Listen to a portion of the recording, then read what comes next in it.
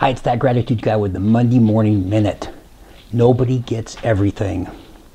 Recently, when someone was comparing themselves to another person, they said, Nobody gets everything.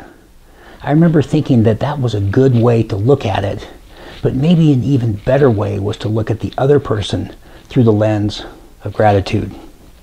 Never compare your inside with someone else's outside.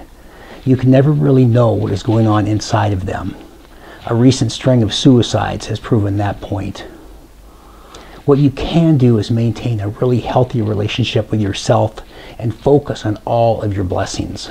By doing so, you will constantly reinforce all that you had to be thankful for, and that is a very good thing.